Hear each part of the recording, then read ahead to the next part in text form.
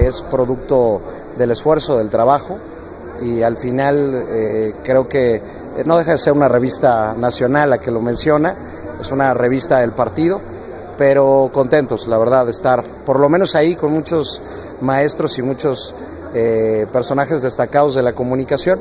La verdad es que eso se agradece, este, pero como lo dije hace un momento, nosotros no, no perder el rumbo, no perder la guía, estamos concentrados en Aguascalientes y en el acompañamiento de la gobernadora Terry Jiménez. En este momento no, pero en otro, en otro momento hay por ahí alguna intención también de que la gobernadora vaya para allá, terminando aquí, ¿no? Sí, eh, hemos durante estos últimos 12 años intermitentemente se han estado tomando las decisiones que se tienen que tomar. Hemos estado en la Ciudad de México en dos ocasiones, hemos regresado, hemos estado en el municipio, en gobierno del Estado.